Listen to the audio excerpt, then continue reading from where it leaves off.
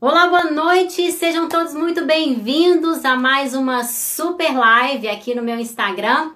Vamos chegando, sejam todos muito bem-vindos. Hoje nós teremos uma convidada muito, muito especial, a nossa querida e amiga Maduca Lopes. Lauro Trindade, meu amigo, seja bem-vindo. Luiz, boa noite, meu querido. Daniele, sejam todos muito bem-vindos. Djaí, Eleisa Cristina, seja muito bem-vinda. Pessoal, boa noite a todos vocês. Obrigada por vocês estarem aqui. Mais uma noite em que a gente vai falar de um tema, de um assunto muitíssimo importante e relevante para a atuação aí dos conselheiros tutelares na sua caminhada, na sua jornada. Maduca Lopes, minha amiga, já está aqui. Já já eu vou te chamar para a gente começar esse super bate-papo. Zé Neto, seja bem-vindo. Eleisa. Boa noite, gente. Boa noite, sejam todos muito bem-vindos. Obrigada por vocês estarem aqui dando o ar da graça de vocês, tá bom? Pessoal, olha só. Dá um tempinho, é, ativa o aviãozinho aí, chama o colega do colegiado. Eu tenho certeza que você deve estar pensando aí que algum colega seu poderia estar aqui participando dessa live essa dúvida muitas das vezes surgiu aí no colegiado de vocês. Então hoje aqui é o momento de vocês sanarem muitas dúvidas de vocês aqui nesse bate-papo que eu vou ter com a Maduca Lopes, uma excelente profissional, um assunto muito atual, muito polêmico, em que nós vamos falar sobre o Conselho Tutelar e o direito à educação na pandemia, ok? Carlos Augusto, seja bem-vindo. Samantha, sejam todos muito bem-vindos para essa para essa nossa live. Pessoal, olha só. É, se vocês ainda não me seguem nas redes sociais, vocês vão lá, me seguem nas redes sociais. Tem o Instagram, tem o Facebook, tem o meu canal no YouTube. Eu tenho subido aí aos poucos alguns vídeos com, muitos, com muito conteúdo de valor para vocês que vai poder ajudar vocês aí no dia a dia de trabalho.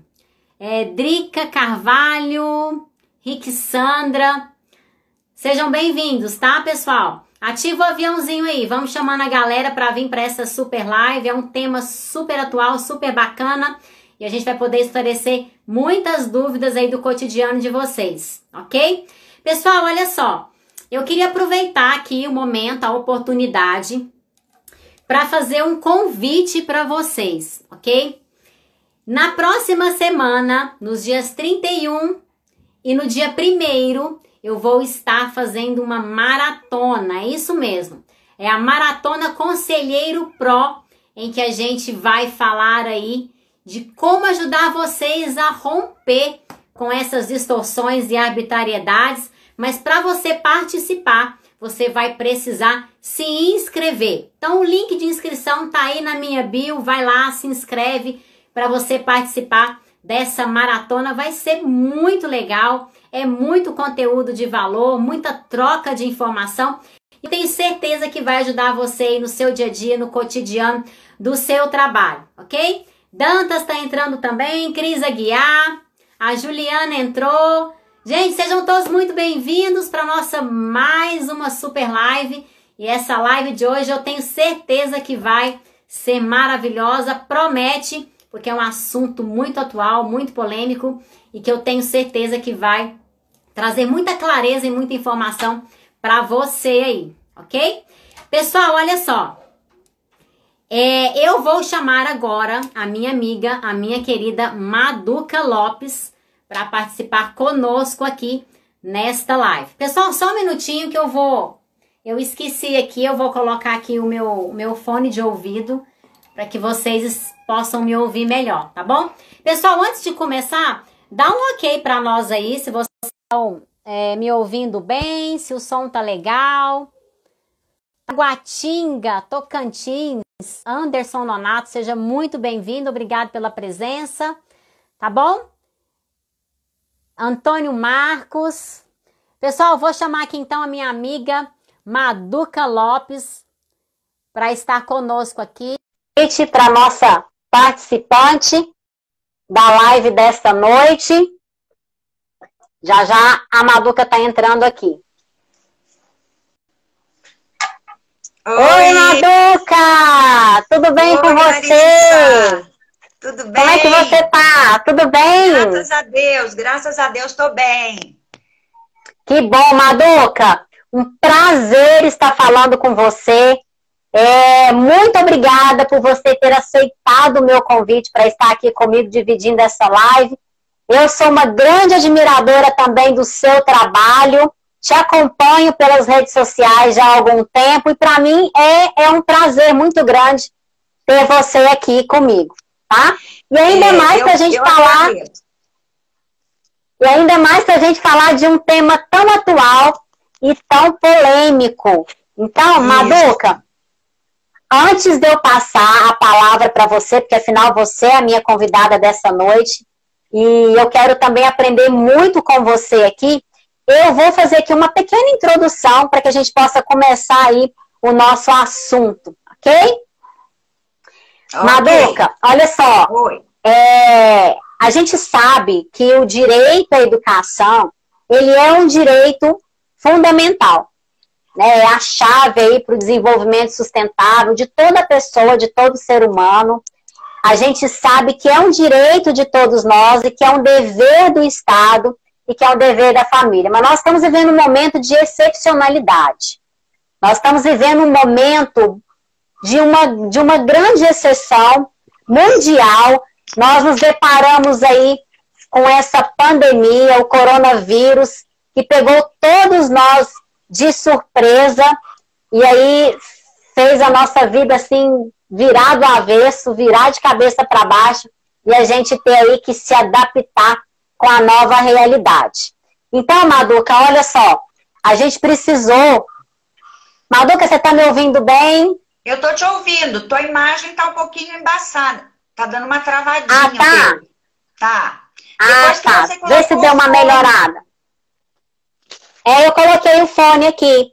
Você tá me então, ouvindo bem? Foi que você colocou que, tá, que, que deu essa, essa travada é. aí. É. Deixa, deixa eu tirar aqui então para ver se a gente. Melhorou ou continua travada ainda? É, não. Vamos perguntar, pergunta pro pessoal para eles darem um ok aí para você. É. Pessoal, dá um ok para nós, para ver como é que tá a imagem, se tá bom para vocês, para a gente ver aqui como é que tá. Para a gente poder ir fazendo os ajustes aqui. É, é realmente. Ao vivo tem tá um isso. É, parece que tá um pouquinho embaçado aqui mesmo. Melhorou? Sim, para mim sim. Tá bom. Maduca, olha só. Então, como eu estava falando aqui, a gente se viu aí, se deparou com os professores, os demais agentes aí, colaboradores é, da educação, as nossas crianças e adolescentes e jovens tendo que se reinventar, tendo que se readaptar a um novo sistema de, de ensino. E isso trouxe muitos desafios, não só para, para a educação, no sentido geral, mas também para as famílias, para as nossas crianças e adolescentes. Mas antes de eu passar para você a palavra, eu queria trazer aqui um dado que a Unesco levantou, que diz o seguinte: eu até anotei aqui para eu falar bem exatamente para vocês os dados, que no Brasil, 81,9% dos alunos da educação básica, eles deixaram de frequentar as instituições escolares. E isso totalizou um número de 39 milhões de pessoas. E no mundo todo, esse total somou 64,5% dos estudantes. O que, assim, se a gente for levar para um número absoluto, representa mais de 1,2 bilhão de pessoas, segundo esse dado da Unesco. Então, assim, Maduca, com toda a sua experiência profissional, eu sei que você é uma amante, eu sei que você é uma apaixonada pela área da educação e também pelo Conselho Tutelar, assim como pelo direito, pela defesa e garantia dos direitos da nossa criança e do adolescente. Eu queria que você falasse para nós um pouco assim a sua opinião, a sua visão sobre todo esse cenário que a gente está vivendo hoje. Bom, Larissa, primeiro eu gostaria de agradecer o convite. Fiquei muito feliz com o seu convite. É um prazer estar aqui. Eu, particularmente, fico muito feliz quando eu vejo novos nomes chegando no cenário nacional. Nós, nós temos, assim, um, um mercado muito amplo e daqui para frente a, a, necessidade de profissionais que, envolvam, que desenvolvam um trabalho como esse nosso vai ser ainda maior.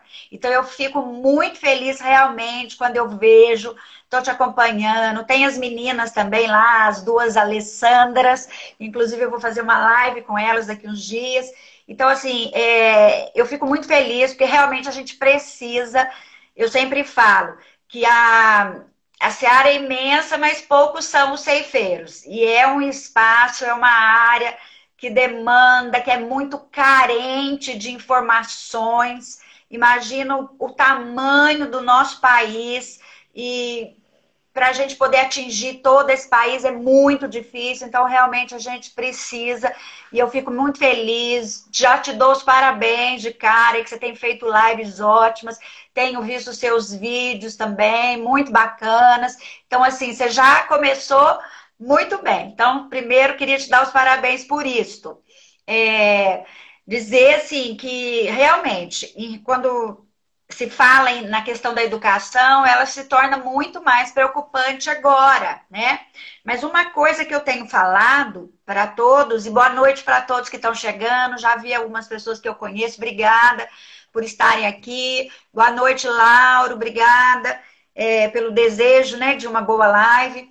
E, e assim, o que eu percebo, o que eu assim já falo de cara, é que o Estatuto da Criança e do Adolescente, ele não teve alteração por conta da pandemia.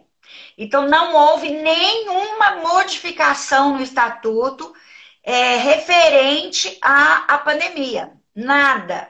Ou seja, tudo aquilo que está previsto no Estatuto referente à educação prevalece prevalece. O papel do Conselho Tutelar referente à defesa do cumprimento do direito é, à educação, como direito à saúde, continua o mesmo. O que, que aconteceu? O que aconteceu é que, obviamente, é, essa pandemia atingiu todos os níveis, né?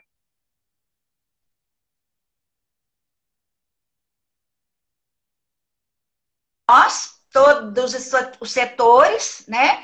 E obviamente que precisaram acontecer o quê? Ajustes, né? Então a educação precisou realizar ajustes. A saúde, no, no, campo da saúde, a educação, a política de assistência social, o próprio Conselho Tutelar, né? Realizando ajustes na sua forma de atendimento, algumas cidades estão praticamente aí na onda roxa. Aqui, por exemplo, o meu estado tá todinho na onda roxa, é uma onda extremamente grave. A minha cidade está em lockdown, tudo fechado. Já vai fazer, nós estamos indo para quase 15 dias com tudo fechado. Então, essas situações fazem com que é, aconteçam esses ajustes. E com a educação não foi diferente. Nós vamos, nós estamos aí vindo para quase um ano, um ano praticamente de, de pandemia. O ano de 2020 foi um ano do quê? Foi um ano de. Eu falo assim, ninguém estava preparado, né? Obviamente, ninguém esperava por isso. Quando na nossa vida a gente ia imaginar estar vivendo o que a gente está vivendo hoje? Nunca, nunca, né? Então, assim, eu mesma, eu brinco, né? Eu dormi com a minha agenda de 2020 praticamente lotada até o segundo semestre, porque o ano passado foi um ano muito importante para o Estatuto que foram é, os 30 anos do Estatuto da Criança e do Adolescente. Então, assim, muitos eventos, congressos, é, tem aquelas datas que a gente é muito solicitado, mês de maio, do, do, combate ao abuso sexual, mês de junho. Ano passado foi um ano de é, conselheiros novos, ou seja, era um ano extremamente promissor para minha área, para gente, né, para nós palestrantes. E de repente, ponto, a gente se viu é, todo mundo ligando, desmarcando, e a gente entrando em contato com a agência, segurando as passagens, né, vendo o que, que podia ser feito, porque tudo foi. No começo, eu acho que todos nós tínhamos a sensação de que seria uma coisa rápida. Na minha cabeça eu até pensei, falei, ah, coisa de dois meses, três meses a gente está voltando, então bacana. Só que não, né? Veio assim, o negócio foi é, avançando, foi piorando, e a gente foi vendo essa, situa essa situação se estender. Então, da mesma forma que eu precisei fazer os meus ajustes, né? Transformar alguns contratos que eu já tinha com, da forma online, promover alguns cursos de forma online e até ouso dizer assim que eu acho que o online chegou para ficar. Eu acho que a gente adiantou um pouco uma situação que daqui cinco anos seria inevitável. A gente acabou adiantando. Então, todo mundo aprendendo, todo mundo correndo atrás, todo mundo lidando entre erros e acertos, mas a gente está se adaptando, tanto nós quanto a escola, os professores, quanto sofrimento a gente viu por parte dos professores que não conseguiam ter essa a facilidade que a gente tem, por exemplo, de olhar para a câmera e gravar né, um vídeo. É, quantos professores que precisaram de ajuda nesse sentido, que perderam noites de sono quando souberam que precisavam gravar suas aulas. Então, assim, foi é, é, é uma coisa assim que a gente não consegue dimensionar né? E, e as famílias também, obviamente, as famílias. Hoje eu, eu estou até um pouco rouca, desculpem, eu até esqueci de pegar água. Daqui a pouco eu vou pedir para meu filho pegar para mim. Eu estou um pouco rouca porque hoje eu dei aula a manhã toda. Eu, essa semana eu estou dando é, capacitação para os profissionais da PAI, de uma cidade aqui do sul de Minas.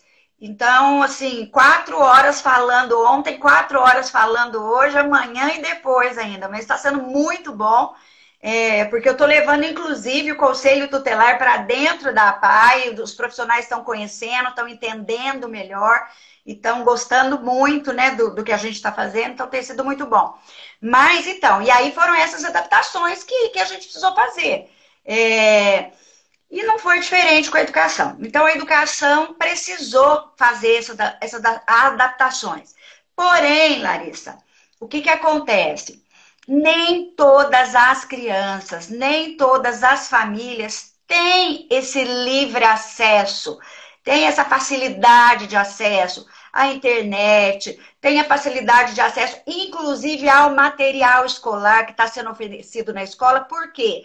Porque num, num tempo regular, essas crianças, por exemplo, que moram na zona rural, têm o transporte para vir para a aula. Agora, não tendo aula, não existe o transporte, mas eles precisam retirar as tarefas. Então, são situações que eu falo o seguinte: não dá para a gente colocar todas essas situações no mesmo saco e, e achar que é tudo igual. Não. Por isso, quando eu, eu, tenho falado com as escolas, eu falo com alguns conselheiros que me procuram é, em relação a isso. Maduca, nós recebemos uma lista de não sei quantos nomes para gente que não estão vindo buscar, que não estão buscando a tarefa, que não estão participando das aulas online e tudo mais. Primeira coisa que eu, que eu tenho falado né, com, com os professores, com diretores e também com os conselheiros. O estatuto é muito claro quando ele diz que a questão da evasão escolar, a escola precisa esgotar os recursos dela, né? Ela precisa esgotar os recursos dela. Então, isso é muito claro.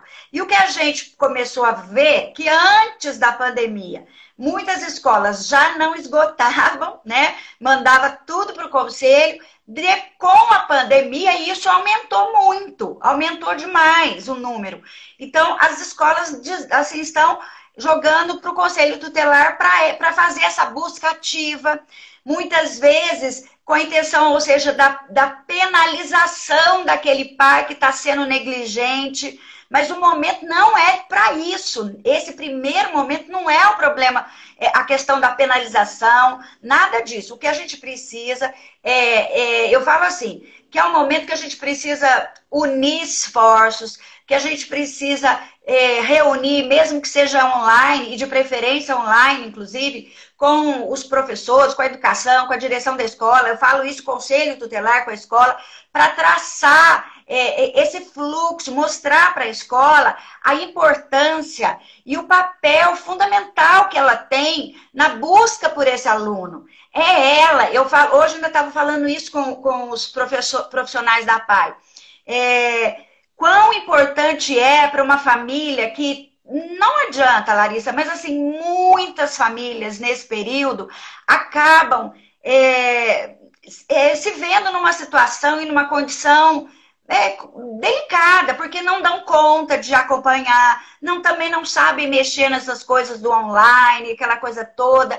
Então, assim, é, que, que, alegria eu acho que deve ser para uma mãe que está lá na casa, passando com todos esses. Que, que não é só o, a, a, questão do filho estar em casa e ela ter que acompanhar isso mas é toda uma outra situação. De repente, é o marido que perdeu o emprego, é ela que perdeu o emprego, ou seja, as questões financeiras estão ali em pauta. Então, é um monte de situação que chegou nos lares brasileiros. Então, não, não é só a escola, é a escola, mais a, a, o financeiro, mais uma, um monte de outras questões que vão acontecendo os desgastes, aquela questão do de o dia a dia, toda a família junto, desgastes que antes não tinham e começam a ter. Então, assim, é uma situação bastante delicada.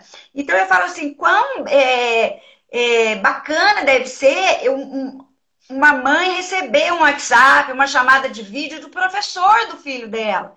Entende? Hoje eu ainda falei isso, falei, gente, vocês já fizeram uma chamada de vídeo? Oi, mãe, e aí? Nós estamos ligando para saber como é que tá o João, como é que tá a Mariana, como é que tá.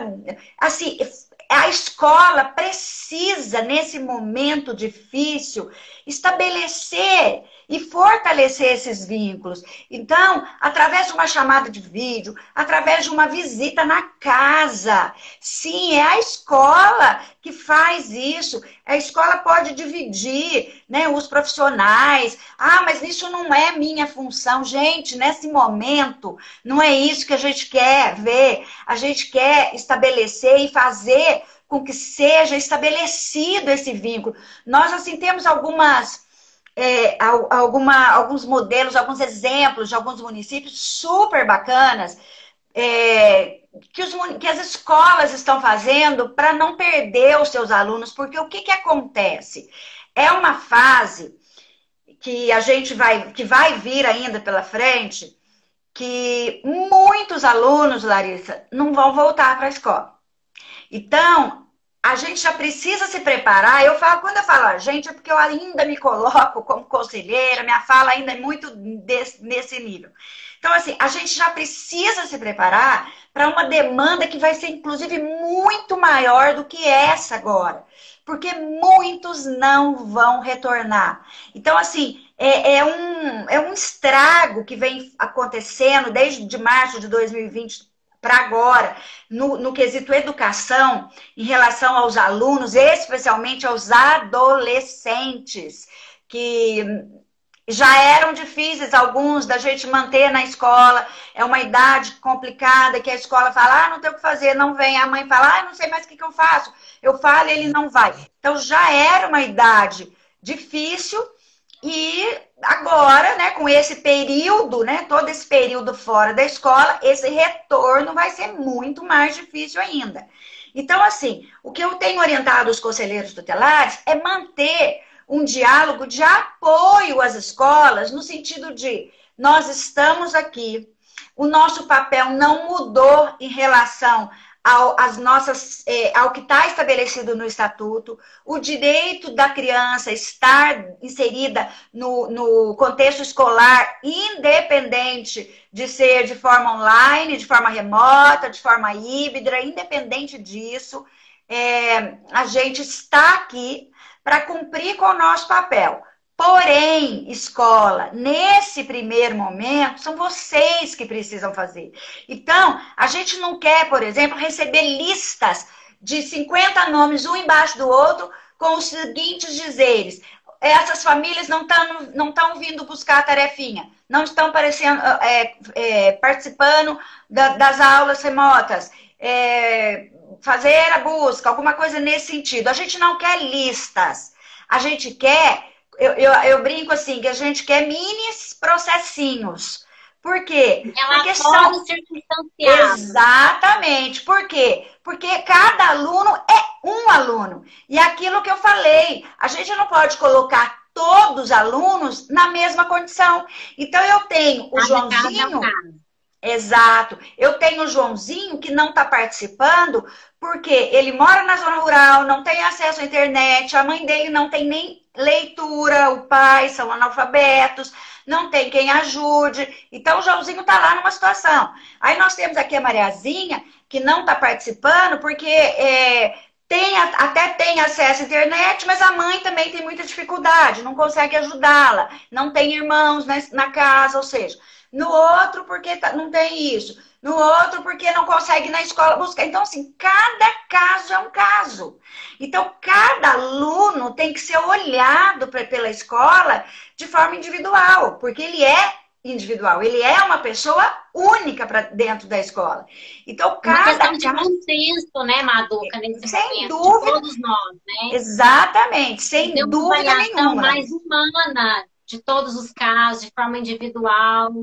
Sem dúvida nenhuma, Larissa. Isso é, é, é o que a gente mais precisa é tentar mostrar para a escola. Mostrar, sim, que o momento é difícil, que a gente está juntos, porém, é, é aquilo que eu falo. É, existem as competências. A escola, a educação tem as competências que são dela.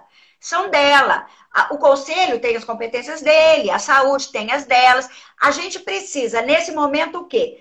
Nos integrarmos unirmos as nossas forças, porém, cada um fazendo a sua competência, aquilo que lhe cabe. E fazendo agora, talvez agora, com certeza agora, é, com um esforço muito maior do que faria numa época regular. Então agora o esforço é muito maior. Um exemplo que eu gosto de trazer quando eu falo dessa dessa questão é o exemplo da cidade de Estância Velha, lá no Rio Grande do Sul, é, eu fiz a live ano passado com a, com a Ivete Grade, que foi prefeita lá. A Ivete não, não tentou a recondução.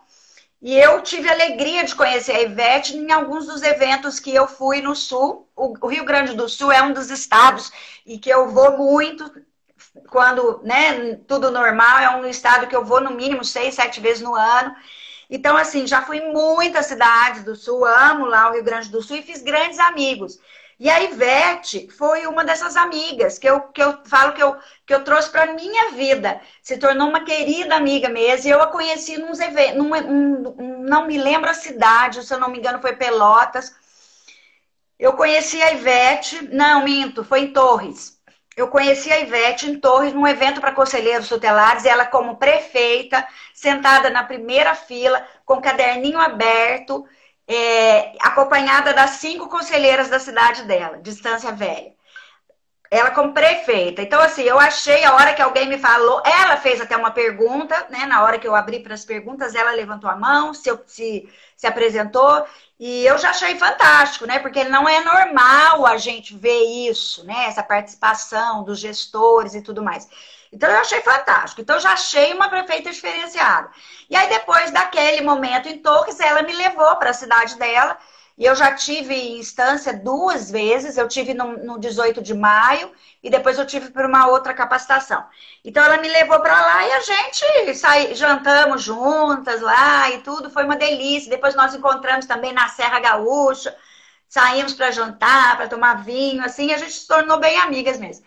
E aí, e aí eu convidei a Ivete para fazer uma live, porque assim, eu achei super interessante a forma como ela é, estava lidando, né, com a pandemia. Eu fui acompanhando o trabalho dela e eu vi. E aí eu fiz esse convite.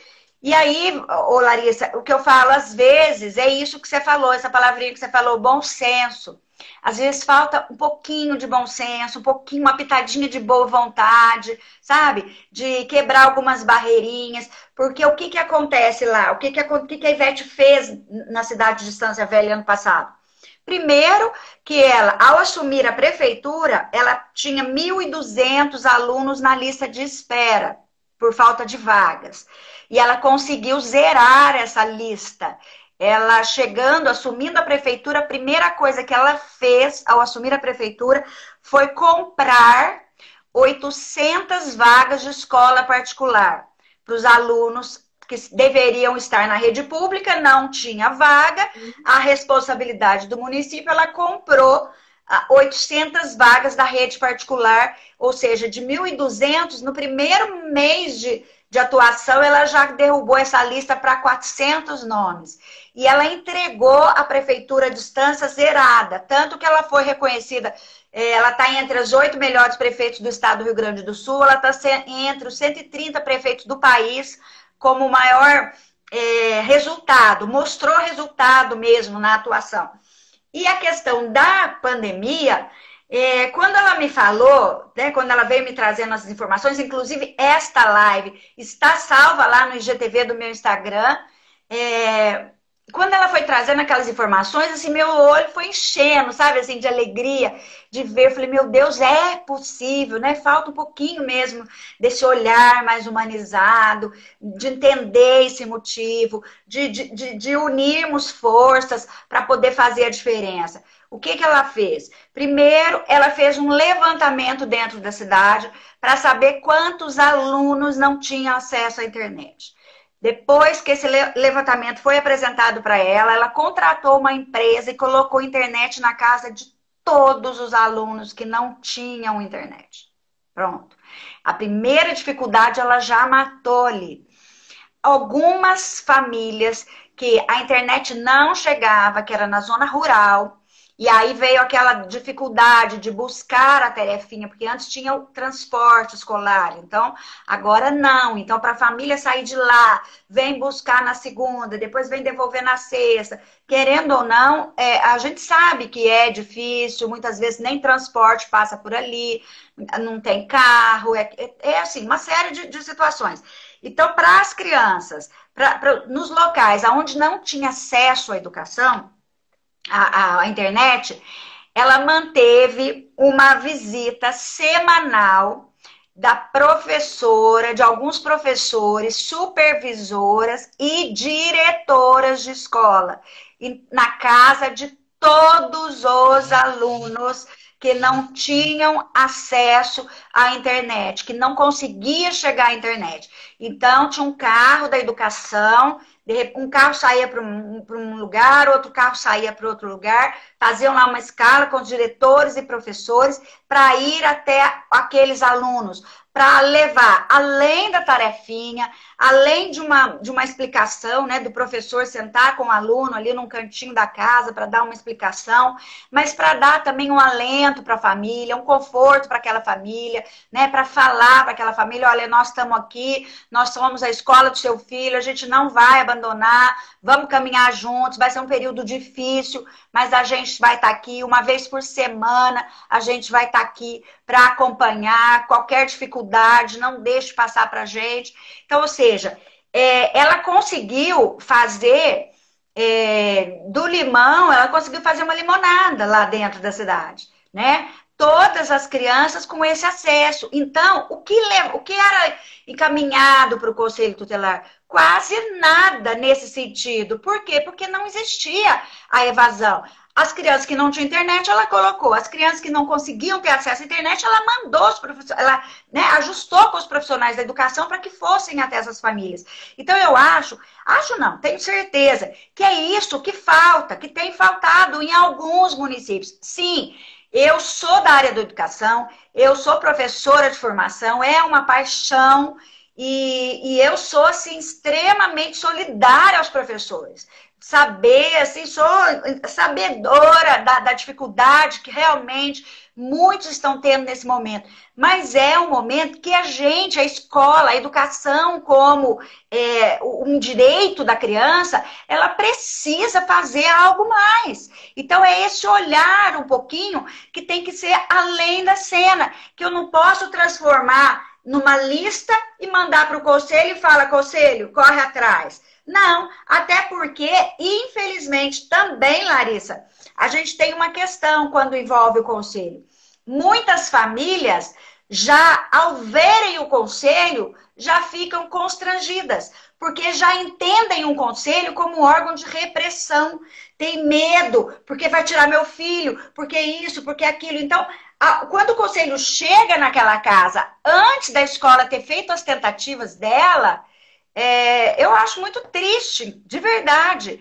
O conselho, ele deve ser comunicado por mini processinhos, com relatórios daquele aluno. Olha, nós tivemos na casa do Joãozinho, o Joãozinho está evadido, nós tivemos na casa dele, detectamos que tem acesso à internet, que tem acesso a isso, e realmente não estão fazendo, porque a mãe falou: ah, eu não tenho paciência, eu não tenho. Eu vi até um, uma, um. Acho que foi o ano passado que eu vi uma cena assim de uma mãe é, um vídeo até que rodou bastante, uma mãe rasgando o material, jogando dentro do tanque e colocando fogo no material que a escola tinha mandado. E falando, eu não sou para paga para ensinar, eu não sou, sou obrigada, isso é com o professor, ou seja. Então, é, isso é, é acabou desestabilizando mesmo, né? Muitas famílias. Então, o, a, a escola tem que caminhar para o conselho aquelas famílias que ela fez de tudo, que ela foi até a casa, que ela buscou oferecer ajuda, que ela fez as intervenções que seriam possíveis, né? É, ela fazer nesse momento. E aí não tem jeito. Ah, não foi, não veio, não quer vir, a mãe não quer saber, papapá, papapá. Beleza. Aí o que, que a gente vai entender? A gente vai entender que o direito à educação está sendo violado na vida dessa criança. Porque, tá, eu não estou tendo aula presencial, mas de alguma forma a, educa... a escola está acontecendo, está tendo aulas remotas, alguns municípios é, é, é, é, o formato híbrido, então está acontecendo. A escola, a, não... escola a escola levou até a família o material para aquela criança Exatamente. fazer. Exatamente. Disponibilizou uma data para buscar. Exatamente. Então tá, houve todo esse, mas ainda assim a família está resistente.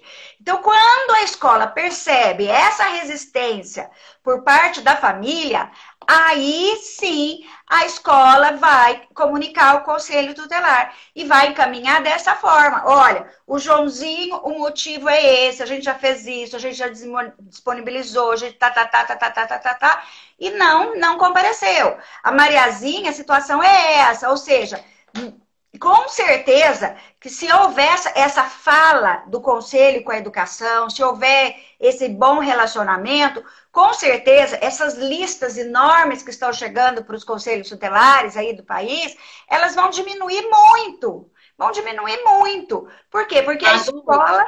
Oi. Pode falar. você, você fala nessa questão aí, eu acho muito importante os conselheiros tutelares terem em mente a necessidade de fazer esse trabalho preventivo junto às instituições escolares. Por quê? Porque, infelizmente, mesmo depois de 30 anos do estatuto, ainda não está muito claro para a sociedade no geral, até mesmo para as escolas, para as famílias, qual é o seu papel dela enquanto escola e qual é também o papel do Conselho Tutelar nesse contexto todo. Aqui em Uberlândia, onde eu, onde eu moro, a gente, a gente sempre busca ter esse diálogo e ter esse contato muito próximo com as escolas. Apesar de que a gente percebe muitas das vezes equívocos das escolas, que essa questão que você falou aí, que as escolas simplesmente encaminham uma lista de nomes e jogam lá, isso é muito comum, isso é muito corriqueiro. E a gente sempre, sempre tentou, de alguma forma, é, reeducar a escola nesse sentido. Então, sempre quando, agora nesse período de pandemia, então são muito encaminhados para nós essas listas por e-mail. Então, quando a gente se depara logo de cara com essas listas de e-mails, apenas com, com nomes, e olha só, Maduca, muitas das vezes essas informações não são verídicas, é, é, não existe atualização dos endereços, Endereço, muitas das vezes nos é. disponibilizam telefones que nem existem mais. Então, a gente sempre devolve o e-mail para a escola respondendo da seguinte forma: olha, o conselho tutelar, dentro das suas atribuições, ele aplicará as medidas de proteção cabíveis, no entanto, para que isso aconteça, faz-se necessário que a escola nos encaminhe um relatório mais circunstanciado, detalhado, de quais foram as medidas aplicadas é, pela escola, quais foram os, os meios, oferecidos para essa família, para que essa criança ou esse adolescente tivesse acesso a essa tarefa, a essa aula, para depois encaminhar para nós o que realmente não conseguiu ser feito. E aquilo que, no entender da escola, seria uma negligência dos pais ou do responsável. Para depois a gente, então, avaliando caso a caso, ver quais as melhores medidas a serem aplicadas. A gente, a gente vê muito essa dificuldade, é, é muitas das vezes, das escolas terem a, a, a sensibilidade de que precisam, de fato, esgotar todos os recursos escolares para depois nos encaminhar essas informações para que, de fato, o Conselho Tutelar faça a sua atuação de forma mais efetiva. Mas isso, Maduca, eu vejo que é uma construção que a gente vai ter que sempre estar fazendo. A gente vem falando muito nos dias dias aqui nas nossas lives sobre as tamanhas distorções e arbitrariedades que os conselhos tutelares enfrentam e, e a gente vai ter que aprender a lidar com isso diariamente, porque isso sempre vai existir. E a gente sempre vai ter que se posicionar diante a isso e a procurar caminhos, meios para a gente poder sanar essas, essas dificuldades. Então, essa parceria da escola com o Conselho Tutelar, eu acho de suma e de extrema importância, até porque, né, Maduca, a escola é um ambiente em que está ali é, é, cuidando do desenvolvimento uhum. psicológico, cultural, moral dessa criança. Eu costumo falar muito, eu tenho três filhas, eu sou uma mãe muito atuante, muito presente na escola das minhas filhas. Estou sempre lá dando, dando ajuda, palestras, e eu sempre falo o seguinte: a importância também desses pais estarem muito próximos da escola. E a escola, não só da família, mas também do conselho tutelar, como um parceiro e não como um órgão repressor que vai reprimir, que vai dar aí uma sanção, uma penalidade. Então, a gente, enquanto, a gente, enquanto conselho tutelar, dar o primeiro passo e buscar esse diálogo também faz parte. A gente precisa é promover essas ações e essas discussões. Então, assim, é muito importante a gente poder estar nas escolas, oferecendo também um pouco do, é, do nosso trabalho, do nosso conhecimento, para que a gente consiga, de fato, ter uma parceria razoável aí. É. Muito importante todas essas colocações que você, que você falou, viu, Madura? Ô, Larissa, com certeza, é, eu falo assim, eu fui conselheira já, eu saí do conselho em 2012. Então tá, eu tô lá em 2006, né, de 2005, finalzinho de 2005 até 2012. E lá atrás eu, eu vivi as, as mesmas demandas que vocês vivem hoje. Então, assim, é para a gente ver que é um caminho muito delicado, que melhorou, nós tivemos avanços, sim, os avanços que a gente teve, eu, eu assim, ouso, ouso mesmo a dizer o que eu vou dizer aqui. Mas esses avanços foram depois que nós, nós surgimos no cenário nacional. Luciano, Maduca, Reinaldo, Lauro, Beth, Sônia, Marcelo Nascimento, porque na minha época não tinham palestrantes. Na minha época, você, você digitava ali, não tinha, você não achava nada. Hoje, você digita no Google, você, você entra no, no, YouTube, no canal da Maduca, no canal da Larissa, no canal do Lauro, você tem material, você tem. Então, assim, hoje é, mudou, melhorou muito, mas ainda tem muito a melhorar. E, o, e a minha orientação é, para os conselheiros tutelares tem sido essa. Eu presto mentoria para alguns conselhos, alguns conselheiros e eu tô é, é, pessoal de tem um conselho, um conselho da cidade de Ribeirão Preto que eu dou mentoria para eles. E Jundiaí, um dos conselhos também de, de Jundiaí, isso porque eles é, me contrataram à parte, não é a prefeitura que paga, é eles próprios. Então, cinco conselheiros reuniram e vamos pagar uma mentoria com a Maduca. Então, eu faço o acompanhamento semanal com eles de todas as demandas. E, assim, um, um resultado que a gente está vendo e que a gente viu muito desse, de, desse trabalho foi justamente nessa questão da educação. Porque eu, como professora de formação e quase 20 anos de sala de aula, E no, exatamente no, na, na década de que foi sancionado o Estatuto, 1990, eu estava na sala de aula e eu saí da, da educação, das salas de aula, em 2002, quando eu assumi a coordenação de uma creche aqui na minha cidade, e 2005 eu já entrei no conselho. Mas pensa, Larissa, de 1990 até 2005, praticamente, que eu estava no universo da educação, eu nunca tinha aberto o estatuto. Nunca nas escolas que eu trabalhei, numa, numa, num módulo, por exemplo, numa reunião de módulo que a gente tinha toda semana, é, nunca a, a supervisora chegou, gente, hoje nós vamos é, discutir um pouquinho do Estatuto da Criança e Adolescente, nós vamos conhecer um pouco esse documento, vamos começar a analisar, vamos, é, aqui está tudo o que pode ser feito, aqui tudo que a gente precisa saber em relação aos direitos, aquilo que precisa ser garantido na vida dos nossos alunos, porque é o nosso público, então a gente precisa saber, inclusive aqui dentro fala da gente, né? Fala da escola.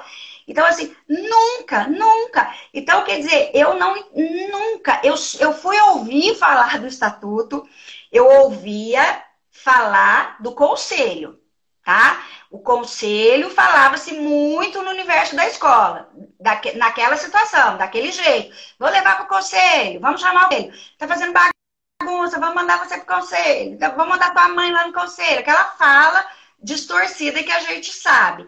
Mas falar do estatuto, promover o estatuto no universo das, das escolas, eu nunca vivenciei isso. Então, eu, eu tive acesso assim, ao documento, ao estatuto, à lei, quando eu é, fui faz, estudar para fazer a prova para o conselho tutelar. E aí, então, hoje não é fazer uma defesa da escola, mas é mostrar que isso é real. A escola muitas vezes manda listas e listas e listas para vocês, para os conselheiros tutelares, porque a escola acha que é, porque a escola não, não conhece o estatuto, ela não sabe que ali fala esgotados os recursos escolares. Então, quem, nesse sentido, nesse caso, é o maior beneficiado com uma escola que entende o papel do conselho, que entende o estatuto da criança e adolescente. É o próprio conselheiro tutelar. Então, estabeleçam esse relacionamento, estabeleçam essas reuniões. É, o pessoal de Jundiaí, por exemplo, foi super bacana, porque eu, eu falava com eles assim, nós, eu peguei, é, eu dei mentoria para eles de agosto a dezembro. E eu falei com eles, eu falei, gente, esse período que está tudo parado é o momento de vocês se aproximarem das escolas. Agendem reuniões com cada escola, porque lá, como são mais conselhos, eh, reuniões com a região de vocês, com as escolas da região de vocês. Agendem reunião com as escolas da região de vocês para discutir como é que eles estão pensando, o que, que eles estão fazendo e o que eles estão pensando já para o pós-pandemia. Porque, Larissa, o que, que vai acontecer? Uma coisa que, a princípio, confesso que nas discussões que eu tive com eles, com os conselheiros de, Jundiaí, a gente pensava que era meio assim, que virar a chavinha, virou o ano, voltou tudo normal, e nada disso, né? Então a gente estava muito assim, jogando esse pós-pandemia para fevereiro. E não aconteceu, sabe Deus quando a gente vai conseguir jogar, né, esse pós-pandemia. Mas vamos pensar numa situação que o Conselho de Jundiaí já começou a trabalhar com as escolas, de, com a educação como um todo, desde agosto. E quantos resultados eles já conseguiram? Por exemplo, é, quantos pais que mantinham seus filhos nas escolas particulares perderam os empregos e não conseguem mais manter o filho na escola particular? E aí, a minha fala com os conselheiros. Gente, vocês estão buscando saber o que, que a escola está fazendo para se preparar para esse pós? Por quê? Porque, querendo ou não, vai ter uma migração. Se antes já estava difícil vaga, agora vai ficar mais. Por quê? Porque vai ter uma migração da, da, da criança da escola particular para a rede pública. E eu não posso negar, eu não posso fazer acepção de crianças, ah, porque essa é rica, eu não vou dar vaga. Não, é, eu não posso, a educação não pode fazer isso. Ela tem que dar de, igualmente, distribuir as vagas de forma igual. Então, se já tem, se já existe dentro do município uma necessidade do aumento de vagas para aquelas crianças que normalmente já estudariam na escola pública, imagina agora que vai vir uma outra demanda, que é essa migração da rede particular. E aí, a escola, a educação municipal está se preparando para isso? A educação é, estadual está se preparando para isso? Então, o, o, o, Conselho Tutelar não é um órgão responsável por zelar pelo cumprimento dos direitos da criança e do adolescente? Então, não é previsto na lei para criança e para adolescente? Ou seja, como bom zelador, ele tem que se preocupar como que a escola, como é que a educação está se preparando para isso. Por quê? Porque, gente, talvez vocês que estão na ativa, não, talvez não, tenho certeza absoluta. Vocês que estão na ativa vão passar por situações nunca antes vividas por nenhum conselheiro até aqui.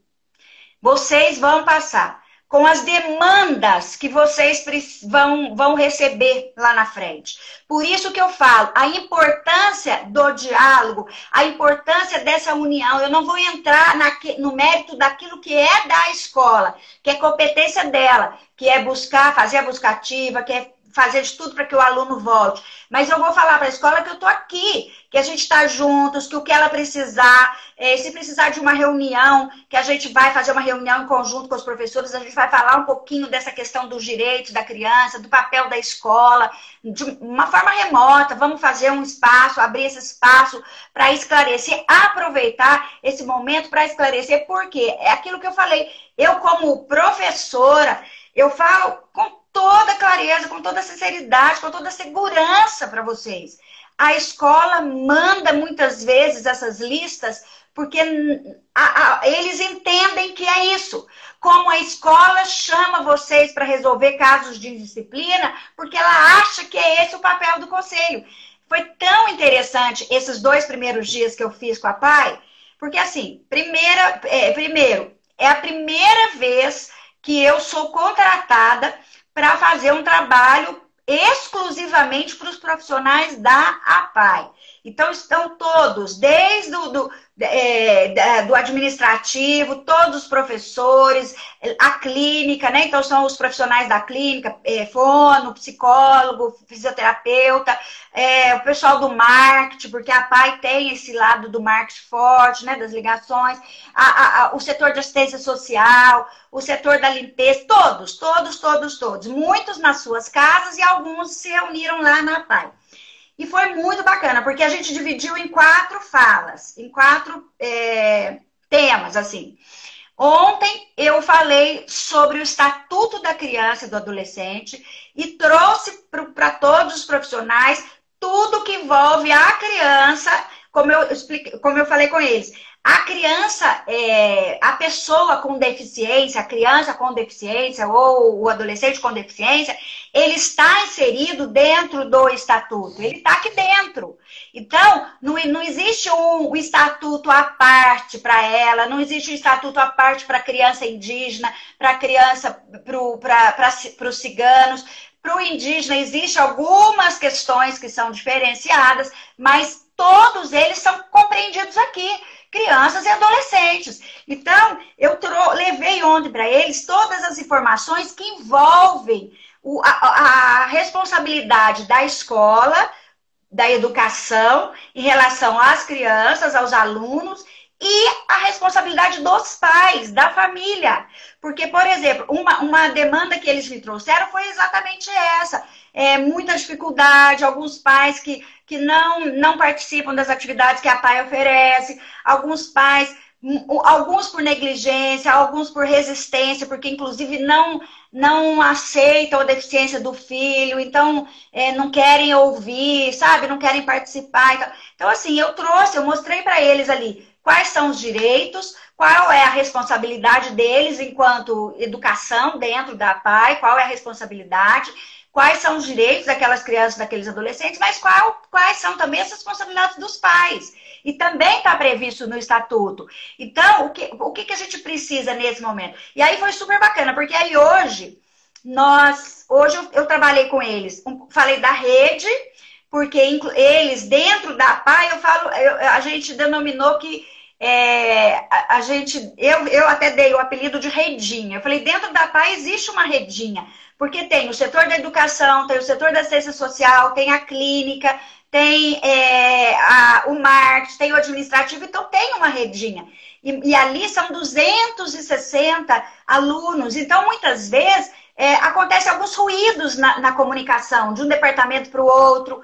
É, então, assim, a educação precisa trazer informações para que o psicólogo que vai atender saiba melhor daquele aluno, a fone, aquela coisa toda. Então, eles precisam. Então, hoje nós falamos primeiro da redinha, para a redinha se integrar, se olhar e depois essa redinha fazer parte da rede maior, que é o sistema de garantia de direitos da criança e adolescente. E falei muito que é uma coisa que a partir, eu falo que é, a pandemia provocou muitas mudanças em mim, Maduca. Você era uma Maduca diferente quando voltar, é, com certeza. E uma das questões que eu mudei assim mesmo e que eu me nego a, a hora que eu fechar e já nesses, nessa, nesses é, é, online que eu estou fazendo, eu me nego a não, não trabalhar mais isso, que durante muito tempo confesso que não, não trabalhava isso, não via é, é essa Talvez até entendesse a importância, mas não via isso como uma fala que eu tinha que ter. E hoje não faço mais sem. É, nós trabalhamos hoje a questão das relações interpessoais. Né? É, das relações interpessoais. Então, assim, é, é e foi que aí eu abri a fala para o departamento de assistência social, abri a fala para a educação, e ali mesmo, eu nem precisei falar nada, eles mesmos já descobriram alguns ruídos na comunicação deles, né? Então, extremamente importante. E aí, uma das falas, quando a educação falou, a professora, ela disse assim, que ela estava assim, que ontem, a hora que acabou a aula, que ela ligou para uma outra professora lá da PAI e, e falou, gente, como que a gente não entendia isso? Como que a gente não viu isso? Como que a gente deixou passar tanto tempo e não conheceu essa legislação? Quanta coisa poderia ter sido diferente, quanta atuação nossa. E, e, e assim, é isso. Esse exemplo de, da, da PAI, que eu tô, que está fresquinho aqui na minha memória, é o que acontece com a maioria das escolas. Na realidade, é, às vezes a gente fica aqui na, na defensiva, o conselho, na defensiva, e meio assim, nossa, que, mais uma lista dessa escola, mais um não sei o quê desse, de, de, da, da sede social, mais um não sei o quê. Então a gente fica muito nessa defensiva, e eu falo isso, Larissa, porque eu vivi isso como conselheira no meu primeiro mandato. Eu não aconselho mais ninguém. Hoje a minha fala é outra, completamente diferente. Mas assim, no meu primeiro mandato eu vivi isso. A hora que eu entendi o meu papel, nossa Deus do céu, chegava uma coisa lá, eu já tá, já tá. E não é isso. Tava chegando porque aquelas pessoas não tinham o entendimento que eu tava tendo, né? Então assim, e demorou até para cair a ficha para mim. E eu falei, gente, então não adianta a gente ficar nessa defensiva, ficar nessa coisa, não é minha atribuição, né? O Reinaldo fala muito isso, não é minha atribuição, não é. Gente, vamos fazer o que aí eu, eu, eu, tra... eu sempre falo do Dr. Walter, que é um juiz da vara da infância e da juventude, hoje ele está em Sorriso, Mato Grosso. Mas quando eu conheci, ele estava em Jaciara. E eu fui para Jaciara para dar uma capacitação e ele presente lá na, na, na, capacitação. Mas é aquela coisa, a gente vê um juiz ali, você imagina que ele está ali para abertura e vai sair, vai embora, porque eles fazem, né? Alguns fazem isso. E o Dr. Walter Lee foi uma grata surpresa, uma grata exceção, né? Que ele ficou o tempo todo, a manhã toda, voltou, saiu para o almoço, voltou depois do almoço, ficou o dia todo. Eu já olhei para ele com aqueles olhos também, né? Falei, nossa, esse juiz é diferenciado, né? Tá aqui o tempo todo ouvindo e, e o que precisa ser ouvido por toda a rede mesmo e tal. E aí o Dr. Walter é, me levou, inclusive, depois, é, montou a escola de paz, o meu projeto da escola de paz, ele levou lá para Jaciara. E, e, aí, um dia eu estava dando palestra em Várzea Grande, Cuiabá, e eu, assim, normalmente eu não faço isso, assim. E nesse dia eu cheguei, eu tirei uma foto de dentro do avião e postei essa foto, tipo assim, chegando em Várzea Grande para mais um trabalho. E ele lá em Jaciara, Jaciara fica uma hora de Várzea Grande. Ele já, lá em Jaciara, ele viu essa postagem, porque a gente é amigo no Facebook e tal. E ele viu a postagem e mandou uma mensagem para mim, mas eu não vi, porque eu cheguei muito cansada, fui direto pro hotel e já fui para a palestra no dia seguinte e realmente não olhei. E não vi a mensagem que ele mandou. E ele, ele colocou assim embaixo da foto, ele perguntou aonde que, que vai ser e que horas. Mas, graças a Deus, alguém viu e respondeu para ele. Vai ser na universidade, tal hora, né? O dia todo, não sei o quê. E aí eu tô lá dando palestra, lotado, sala lotada, foi numa universidade, Mato Grosso, aquela região ali do Mato Grosso, mas com muita gente mesmo, de espaço, na realidade, um calor do cão, nunca passei tanto calor na minha vida, e assim, muito quente, e a sala lotada de conselheiros, de repente, eu olhei para o lado, assim, numa janelinha, que eu olhei, assim, o, é, o Dr. Walter. Ele saiu lá de Jaciara e veio na, na aonde eu estava palestrando, né? E eu achei o máximo, porque assim, é, é, é um, é um, como é que fala? É, é o que eu falei, é aquecer um o coração. né, Maduca? É, é o reconhecimento que, que as outras autoridades têm pelo nosso conhecimento e pelo nosso trabalho. Então, Exato. isso é muito importante a gente, a gente cultivar isso e entender que, que essas formações, Maduca, não dá, não, não dá para ser unilateral. Tem que juntar todo mundo, todo não, mundo nisso. Realmente. Buscar conhecimento. E, Maduca, só para a gente finalizar aqui, porque o nosso tempo já está encerrando, é, ah, dizer para o pessoal, olha, tanto que passou rápido, dizer para o pessoal, para os conselheiros que estão aqui nos acompanhando, que, ainda que eles não tenham formação pelas prefeituras, que busquem esse conhecimento por si só. É. faça individualmente, faça com o seu colegiado, mas não fique sem conhecimento. Não fique refém de muitas distorções, de muitas arbitrariedades. Faça a sua parte. Maduca, nosso tempo está acabando. Muito obrigada pela sua participação. A, a, a, conversa é tão boa que a gente nem vê o tempo passar. Ah, eu mais umas 10 horas falando com você. Você é uma, uma graça, Mas muito pra gente te conhecer. Só me fala uma coisa, Larissa. Por que, que o nosso ah. tempo tá acabando? Por que, que o nosso tempo tá acabando? É só uma hora o Instagram. O Instagram não derruba mais com uma hora. Ah, não? Não, você pode ficar Menina. duas, três horas. Eu não, não, não derruba não, mais. Maduca, então você me contou uma novidade que eu não sei bem. Então, é, bora, vamos. Não, tô achando que já ia cair, já ia derrubar. Maduca, esse, o ano passado eu fiz uma live pelo Instagram. Eu fiquei tão assim, tão assim impressionada com isso, porque eu tava no meio da live, um papo é, legal, e de repente é. o negócio caiu e eu não despedi de ninguém, não falei, ficou tão feio é. que eu fiquei assim, das próximas lives, eu vou ficar com o telefone, com o seu relógio aqui do lado, para marcar, para eu não, não sair de nenhuma live mais sem despedir de ninguém. Não, então vamos embora, Madu. Não, não cai mais, Muito produtivo. Pessoal, se vocês estiverem gostando, vai ficando aí, porque a gente tem muito assunto para falar. Tá um assunto é. muito gostoso. Então, Madu, bora. É, então, até porque uma novidade que eu não sabia. Até porque eu quero concluir essa. Por que, que eu tô falando do Dr. Walter, né? E eu falei, ah, mas por que, que tá acabando, né? Não, não acaba mais. Eu também fiquei sabendo, Ai, não tá sabia. E Nossa, bem, então agora. É, muitas lives minhas derrubaram também. E eu falava assim, gente, vai cair, vamos voltar. E a gente voltava até para a gente concluir, né? E assim, para eu conseguir dar alguns recadinhos que são pontuais. Então, aí o Dr. Walter foi lá. Eu achei lindo da parte dele esse reconhecimento. Para os conselheiros, eu falo que foi um quentinho no coração, né? Porque assim. É, a gente vê muito assim, muito, um, a, a, em alguns municípios, a gente vê um distanciamento muito grande do judiciário com o conselho, do Ministério Público com o conselho. A gente não pode, a gente pode né, a gente precisa se unir, entender que é a gente precisa que essa rede funcione na horizontalidade, independente de cargos e salários, a nossa causa ela precisa ser olhada na totalidade. Nós precisamos discutir, nós precisamos é, sentar juntos, a gente precisava, precisa olhar um no olho do outro. E o doutor Walter foi lá. E eu, nossa, fiquei muito feliz, abracei. Naquela época a gente podia abraçar, eu abracei muito o Dr. Walter e agradeci e tal. E ele ficou lá um tempo. E ele ainda tinha que voltar para Josiara, que ele tinha audiência. Ele falou: Maduca, eu vim aqui só para te ver, para te ouvir mais um pouquinho, para dar um oi para os conselheiros. E aí eu falei: Ah, então o senhor vai falar um pouquinho com os conselheiros. E aí eu abri um tempo para ele.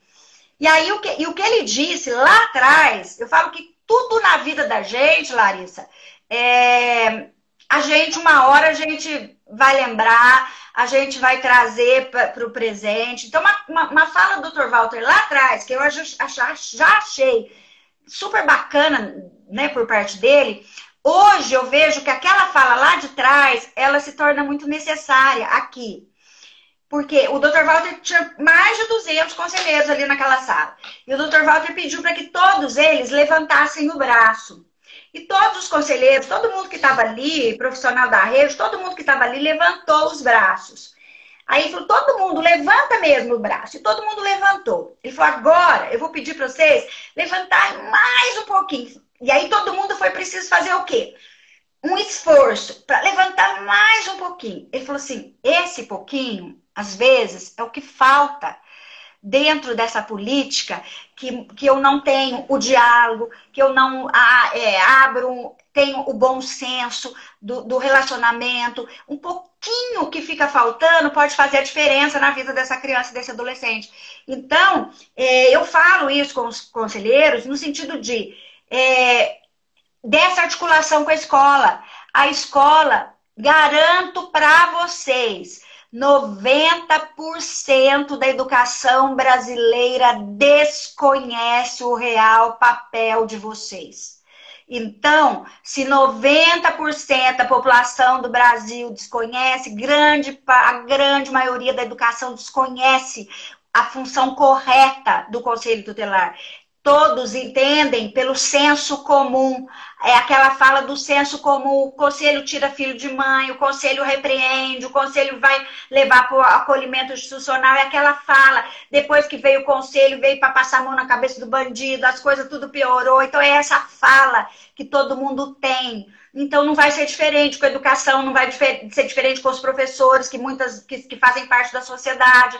Então, eu falo, às vezes esse pouquinho mais de esforço do conselho tutelar para estabelecer esse diálogo, buscar por esses, por, por esses setores, pela saúde, pela educação, pela política de assistência social, para se organizar dentro desse, dessa rede, para se colocar dentro desse sistema. Você falou uma palavra extremamente importante, que é o posicionamento, para se posicionar enquanto conselho, para mostrar. Nós não estamos aqui para brigar, a gente não está aqui para debater, não é isso. É, isso é, eu fiz lá atrás e não aconselho ninguém a fazer. Hoje eu falo, não chegue com o pé na porta. não é confrontar, né, Madu? É diferente.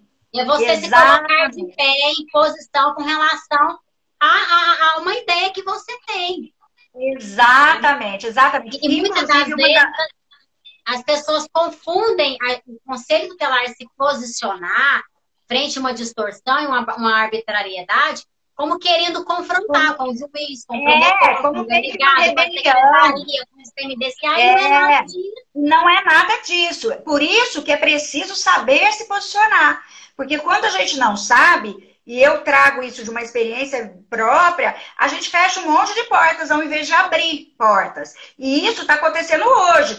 Tudo bem ter acontecido lá atrás, na minha época, sem muito entendimento.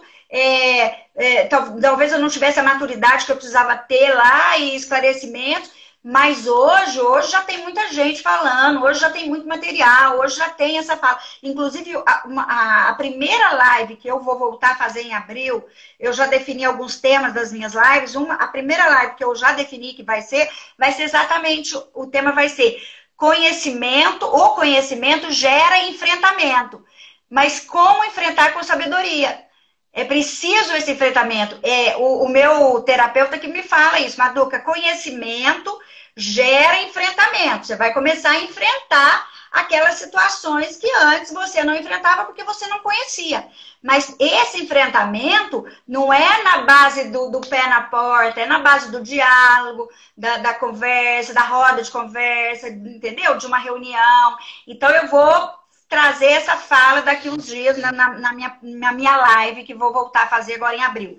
Então, é, eu, eu, o que eu queria dizer é isso para os conselheiros tutelares. O momento é esse agora. O momento é de unir forças, de esclarecer o papel. Aproveitem esse período para esclarecer a função de vocês. Ah, mas não é nossa obrigação? É sim. É sim, eu, Maduca, eu, eu tenho certeza absoluta que hoje, se eu estivesse conselheira tutelar, o máximo que eu pudesse fazer com o meu colegiado para levar o entendimento do conselho para a sociedade, para os serviços do município, eu ia fazer. Por quê? Porque quanto mais a sociedade entende o meu papel, quanto mais a escola entende o meu papel, mais fácil vai ficar para que eu possa exercer de fato o meu papel.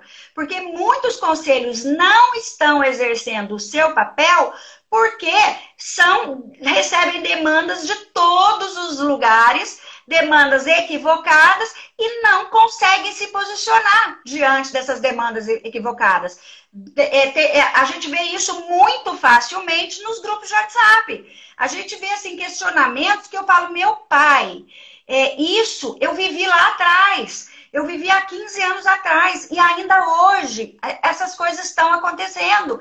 Então a gente não pode é, fechar os olhos para isso. Para isso, Larissa, para acontecer essa, esse diálogo, essa abertura para a rede e tudo mais, eu falo que a gente precisa é, estabelecer um bom colegiado, né? Um colegiado que fale a mesma língua, um colegiado que, é, que estude, que não fique muito mesmo na dependência de prefeitura, porque tem muitas prefeituras que vão é, é, muitos prefeitos, muitos municípios que a gestão começou agora e vão passar os quatro anos sem fornecer capacitação para os conselheiros tutelares. Não se enganem, achando que aquela, aquela alteração da lei ali é, vai. Alguns gestores não querem nem saber dessa formação continuada, vão dar N desculpas e a pandemia agora vai vir gritante nessa fala, não tem recurso, papapá, papapá. Então eu falo muito isso para os conselheiros tutelares. Se eu maduro, e quando eu falo isso, às vezes a pessoa pode ler, é, é, querer falar assim, ah, mas ela quer vender o peixe dela. Não, claro que eu vou vendo meu peixe e tento vender a todo momento, mas não é isso. Nesse momento, não. A minha fala não é essa. Eu quero dizer o seguinte: se eu, Maduca, tivesse ficado satisfeita com uma única formação em quase sete anos de mandato, porque eu entrei no finalzinho de um mandato lá como suplente. Se eu tivesse ficado satisfeito com uma única formação que o meu município me ofereceu, pagou para mim, que foi um congresso deste na cidade de Águas de Lindóia, foi a, o único, a única formação paga pelo município que eu fiz. Se eu tivesse parado lá naquela formação, você acha que hoje eu estaria aqui tendo essa conversa com você, Larissa? De jeito nenhum, Manuca, e eu falo muito isso, porque assim, é, eu, eu, eu estou no meu segundo mandato, então eu vim da área da advocacia, eu advoguei 10 anos antes de parar no conselho tutelar, porque é, é uma paixão minha. Antes de eu ir para o conselho, eu advoguei dois anos e meio na área da infância e da juventude. Aí eu fiz especialização em direito público, queria trabalhar nessa área, e a forma que eu encontrei de trabalhar de forma mais efetiva foi estando no conselho tutelar. Então, eu abandonei a advocacia para exercer a função de conselheira tutelar, e eu costumo falar para todo mundo que eu me encontrei profissionalmente nessa função. E se eu tivesse também, Maduca, esperando formações, capacitações oferecidas por município, hoje também eu não estaria aqui ajudando tantos outros conselheiros tutelares, tutelares com o meu conhecimento e com a minha experiência de trabalho. E quando você fala em posicionamento, Maduca, é, a gente vê que quando, que quando o colegiado ele busca, porque o colegiado ele é um grupo, As decisões é. do conselho tutelar é do colegiado, não é do conselheiro tutelar. Então, quando existe coerência, coesão, através dos conselheiros tutelares em buscar conhecimento, em buscar formação, formação eles têm uma facilidade muito maior de se posicionar do que qualquer outra pessoa. De, inclusive, Maduca, marcar uma reunião com o prefeito, sentar com o prefeito e discutir. E discutir abertamente. Situações abertamente, com tranquilidade, sem medo, sem receio, com o Ministério Público.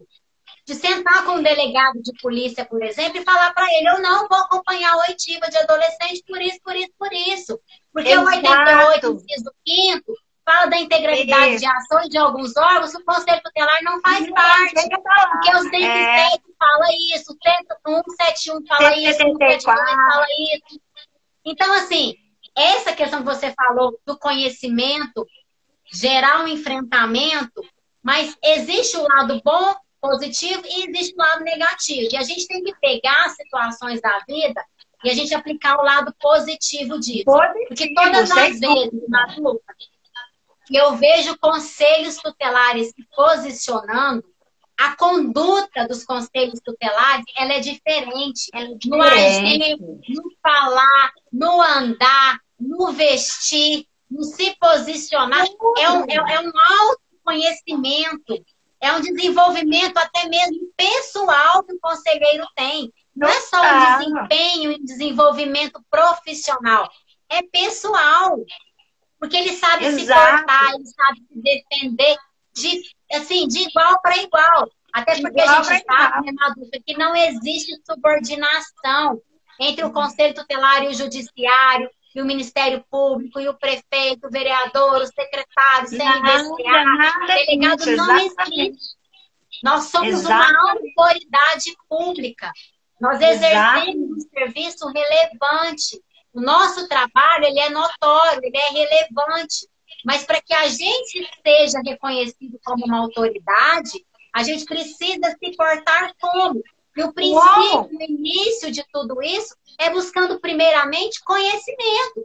Você precisa conhecer no mínimo o que é a sua atribuição, o que é o estatuto, quais são esses direitos fundamentais, por que, que o Estatuto da Criança e do Adolescente foi criado? Qual é a história da criança e do adolescente no Brasil? Da criança. E resultou a criação do Estatuto.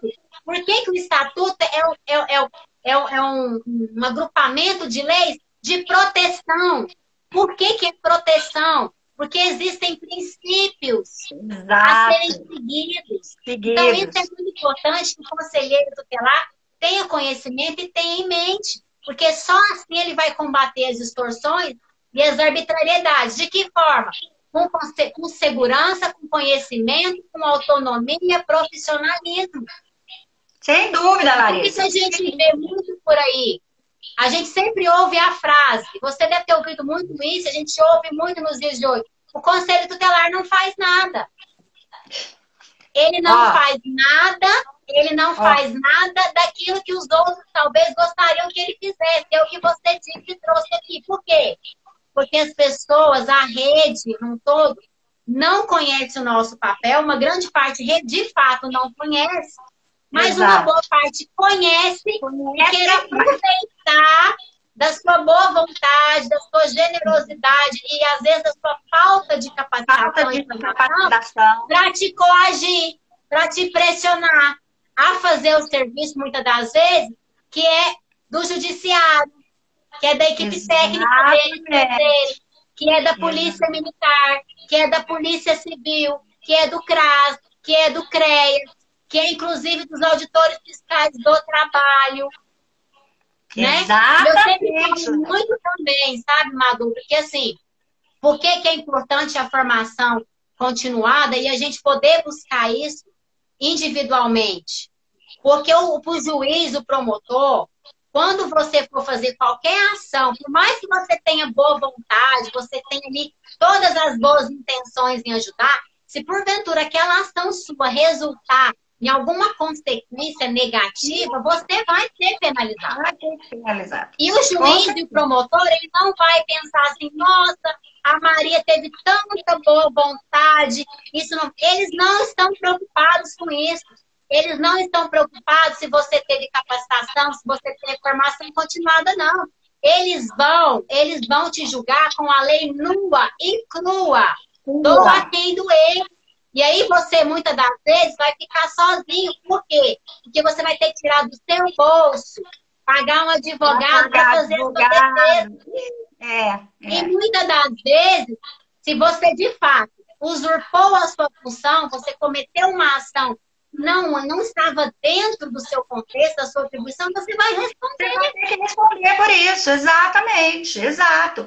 Então, assim, eu acho que passou da hora. Hoje até eu estava falando com uma conselheira que me que a gente, é, foi, foi minha aluna, ano passado também, de aulas é, de mentoria individual, e eu estava conversando com ela hoje e ainda falei para ela, eu falei assim, gente, eu, eu acho assim, eu estou num, num processo assim, de, de, algumas mudanças internas e tal, não é que eu esteja perdendo a paciência de forma alguma, eu sou até muito paciente, mas eu acho assim, tem coisas que já está passando da hora da gente colocar no lugar.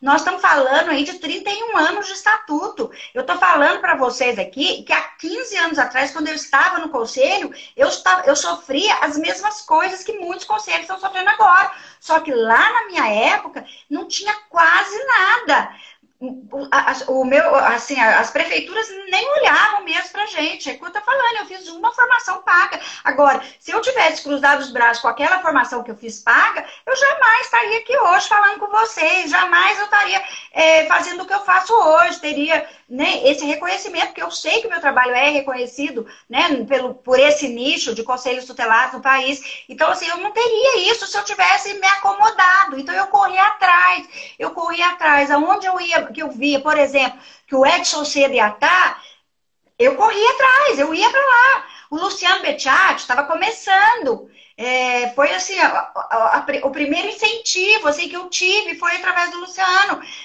corri atrás. A primeira vez que eu fui participar de uma palestra dele foi na Bahia. Então, ou seja, eu saí daqui, fui para São Paulo, peguei o avião, fui para Porto Seguro e, e, passei lá, né? Eram três dias de, de, de congresso com o Luciano Bettiati e fui ah, marido, irmão, todo mundo ajuda, passa dali, passa daqui, mas eu, eu entendia que eu precisava entender o, o, caminho que eu estava percorrendo, o espaço que eu estava atuando.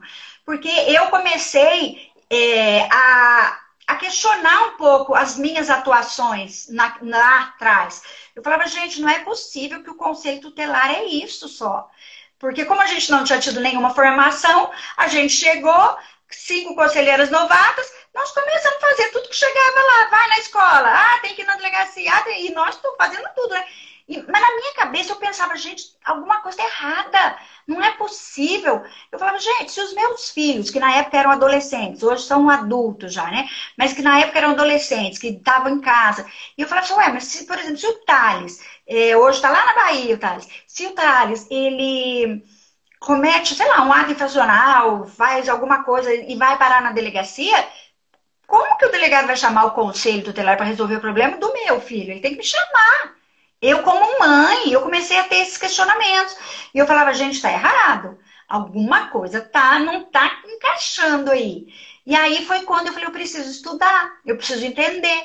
E aí quando eu comecei a ler o estatuto direitinho, porque eu tinha decorado o estatuto para fazer a prova, aí quando eu comecei a ler, assim, ler e, e, e anotando e tal, eu fui percebendo, eu falei, gente, está realmente tudo errado. E aí foi onde eu comecei a buscar as formações. Eu falei, eu tenho que correr, eu tenho que saber, mas isso tudo, Larissa, pensando em fazer o melhor dentro do meu trabalho, porque eu sempre fui assim. Eu, é, eu sempre fui muito. Eu sempre me cobro muito. Eu acho que aonde eu tenho que estar, eu tenho que fazer bem feito. É o meu espaço, é onde eu estou. Então, enquanto eu estive professora, não tinha mamaduca. Sempre fiz de tudo para ser uma excelente professora para os meus alunos. E aí não ia ser diferente no conselho tutelar. Então, eu fui buscar todas as informações, eu tenho N. Esses dias eu falei, nossa, eu preciso abrir minhas pastas para ver os certificados. N, muitos certificados daquela época, né? Desses seis anos, assim, muitos, muitos, muitos, muitos. E aí eu, eu fui buscar tudo aquilo lá, pensando na minha atuação dentro do conselho da cidade de Pouso Alegre, para fazer o melhor para o meu público, para o público que chegava lá no conselho para gente.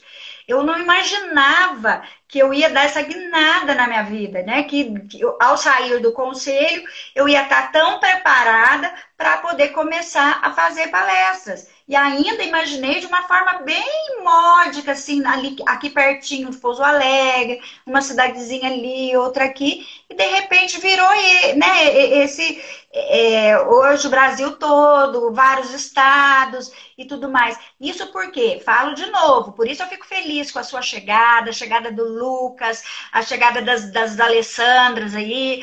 É, por quê? Porque existe espaço, é um mercado carente. Ontem eu comecei a pensar sobre isso. Eu falei, gente, são 5 mil cidades no Brasil. Só o nosso estado, Larissa. Olha onde você está. Você está em Uberlândia e eu estou em Pouso Alegre. Nós duas estamos em Minas. Mas de Pouso Alegre a Uberlândia, acho que são umas 12 horas de viagem. Nós estamos muito distantes dentro do mesmo estado. Só o nosso estado são 854 cidades. Então, ou seja, é, por mais que eu trabalhe, eu não vou atingir o número de cidades que tem o meu estado. Por mais que o Luciano trabalhe, ele não vai conseguir atingir. Por mais que o Lauro, que o Reinaldo, ou seja, nós precisamos de bons nomes chegando. Nós precisamos, até porque eu preciso aposentar. eu preciso aposentar, né? Daqui um pouco. Então a gente precisa fazer história, a gente precisa trazer essas pessoas, bons nomes, porque aqueles que não são bons, que chegaram, já sumiram já sumiram. Por quê? Porque vem, infelizmente, vem com, com má fé, vem com má vontade, vem para puxar tapete da gente, vem para fazer discórdia, para promover discórdia. Esses vão ficando pelo caminho. Eu nem me preocupo porque esses vão ficando. Mas os bons, eles permanecem. O Luciano tem essa fala. É, é, para quem é do bem, Maduca, tem. Para quem é do bem, tem. Sempre vai ter. E é isso. E a gente é do bem. A gente tem uma, um relacionamento muito bom. Nós somos realmente é, muito amigos. Nós não somos concorrentes, nós somos amigos. A gente se ajuda. A gente tem grupo fechado. A gente fala, a gente debate, a gente discute mesmo. Eu não concordo com isso. Não, mas é assim. Nós temos isso. e, e a gente quer mais. Eu, a minha visão é essa. Eu quero mais. A gente precisa de mais porque nós precisamos. Eu acho que uma das, das maneiras da gente mudar esse, esse cenário que a gente vive hoje é exatamente chegando com a informação em mais lugares. Em lugares extremos. Então, eu acho que o online, por isso que eu falo que o online também veio para ficar. O online veio para ficar, é uma coisa que vai, a hora que, que o, os presenciais voltarem, eu acho que o online vai, a gente vai intermediar online com o presencial, porque o online veio para ficar. É a possibilidade, sim, daquele colegiado que o município não quer pagar a capacitação, dele se unir a uma mentoria. Tem um valor super especial. Acho que caiu a, a... Deu uma travadinha aí, Larissa. É, travou. Melhorou? Isso. Melhorou, tá melhorando, voltando. É, então, assim, vamos, vamos, vamos ver quanto que fica, vamos, vamos fazer a diferença, vamos. É, é, porque eu falo assim, que o que eu investi conhecimento na minha vida, ninguém vai tirar de mim. O, o, o, conhecimento, ele gera transformação na vida da gente em todos os segmentos, Total. em todos. Total. No setor daquilo que você falou, você muda a postura, você muda a forma de se relacionar, você muda a forma de, sabe, de tudo, muda tudo, muda tudo. Eu falo que, que assim, você conhece pessoas do Brasil todo, você estabelece, faz amigos. Eu tenho amigos em quase todos os estados. Eu brinco que tem muitos estados, muitas cidades do Brasil que quando eu voltar, for trabalhar novamente, eu não, não preciso mais ficar em hotel. Porque assim, tem, tem eu, eu fiz amigos pra, de vida. Já tem vários conselheiros que já vieram aqui na minha casa. Já tem conselheiro do Mato Grosso que já veio aqui para casa. Tem conselheiro do interior de São Paulo que já veio, ficou na minha casa, se hospedou na minha casa, ficou aqui. É, filho de conselheiro, eu fiz amizade com um conselheiro de salto, fiquei tão amiga da família dele que fui, fiquei na casa dele. Depois a filha dele veio passar as férias aqui na minha casa, a Silvinha. É, então, assim, é, é, é tudo isso que me, o que me possibilitou foi eu ter adquirido conhecimento e ter transformado a minha vida através do conhecimento. Então, isso é, é o que eu tenho, assim, né? Que eu falo muito para os conselheiros tutelares, não, não fiquem muito presos ao município. Se vocês conhecem o município de vocês, se vocês conhecem o mato que vocês estão lenhando, façam a parte de vocês, porque muitas vezes vocês podem passar o mandato inteiro sem capacitação, sem é, o, a, a, capacitação oferecida pelo município. E voltando, Mas, só para arrematar agora. Oi. Hum. Não, não, você fala nessa questão aí da, da, da transformação, e, e, e, e eu acho que você vai concordar com o que eu vou falar, porque é, a gente, eu, tô chegando agora, né, apesar de, de estar tá aí há seis anos no Conselho Tutelar, ter toda uma bagagem profissional e tudo mais, mas para esse, esse campo de, de palestras, de mentorias, de treinamentos, eu estou chegando agora. Então, assim, eu me preparei para estar onde eu estou hoje. Não só com conhecimento legal, mas eu fiz curso de palestrante, coach treinamento, de mentorias, de análise de perfil comportamental, tudo isso para me ajudar no meu desempenho pessoal e profissional. E quando você fala em transformação, Madu, eu acho que a transformação maior, eu acho assim, que é o ápice do negócio, que a gente tem prazer e faz a gente cantar, é saber que essa transformação ela não acontece só na gente, mas nas outras pessoas, às quais a gente leva o nosso conhecimento e a nossa experiência de vida e profissional. Então, você já deve ter recebido aí pelo Brasil afora muitos agradecimentos Nossa. de muitas pessoas te agradecendo, falando, Maduca, obrigada por você ter aparecido na minha vida, obrigada por você é, é, ter me dado essa oportunidade de aprender um pouco mais, de, de, de, ter essa experiência. E eu acho que isso não tem preço, sabe, Madu? Não tem, não que, tem preço. Para gente, é, pra gente que, que leva conhecimento para as pessoas, não tem preço, porque o ganho que a gente tem, o retorno que a gente tem, o carinho que a gente recebe das pessoas é muito grande. Você deve receber aí mensagens Nossa, pelo WhatsApp, pelos seus, pelas suas redes sociais diariamente. Eu tenho recebido também, assim, é. mensagens de carinho, de reconhecimento, é. de incentivo Não, nessa jornada. Eu, eu, eu fico muito feliz, tá? É, às vezes eu paro, né, para pensar, eu falo, meu pai, será que eu mereço tudo isso? Porque assim, às vezes eu chego no município para dar capacitação, eu sou tratada como uma rainha, sabe? E vão me buscar no hotel, e me levam para jantar, e me levam não sei aonde. Eu falei, Senhor, meu Deus.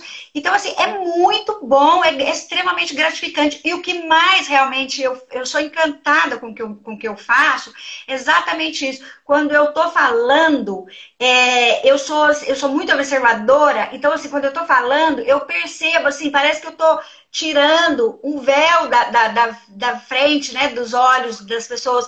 Então eu vejo é, aquele olhar de identificação comigo, eu vejo aquela, aquele comentário um olhando para a outra, tipo assim, concordando com aquela fala que eu, né, que eu tenho, que eu tive ali naquele momento. Então isso realmente não tem preço que pague. Recebo mensagens todos os dias, recebo, assim, nossa, depoimentos extremamente carinhosos.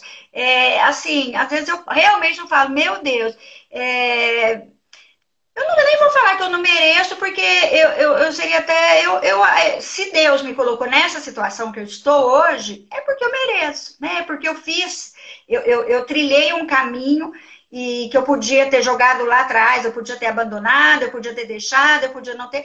E eu fui persistente, eu lutei muito. Não é fácil, não é fácil.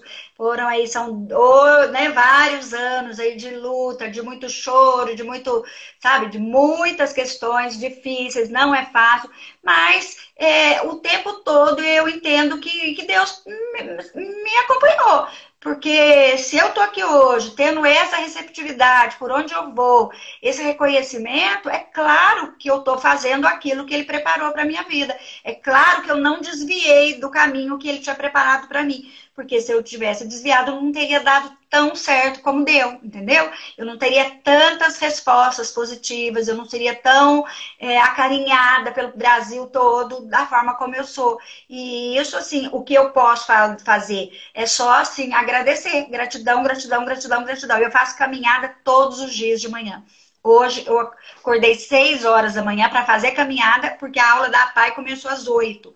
E a minha, a minha caminhada é o momento que eu falo. Assim, às vezes as pessoas. Ainda bem que agora a gente está de máscara, né? Caminho de máscara. As pessoas. Porque antes as pessoas olhavam assim, essa mulher é louca. Porque assim, eu saio da porta da minha casa, eu já subo teu morrinho aqui, eu já saio da porta da minha casa falando, Deus, olha aquela situação. Deus, e aí? Como é que vai ser? O que, que eu vou fazer? Tá conversando como se eu estivesse conversando com você.